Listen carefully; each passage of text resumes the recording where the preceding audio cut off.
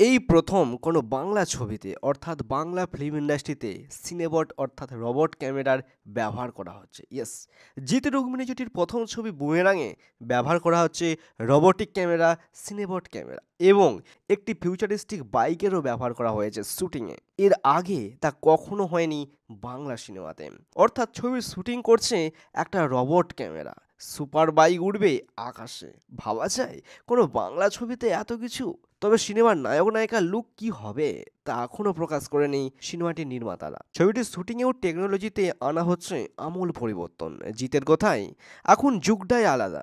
অর্থাৎ যুগটাই গতির। দর্শকদের জন্য সবসময় নতুন কিছু দেওয়ার চেষ্টা করি আমি। এবারও তার ব্যতিক্রম নয়।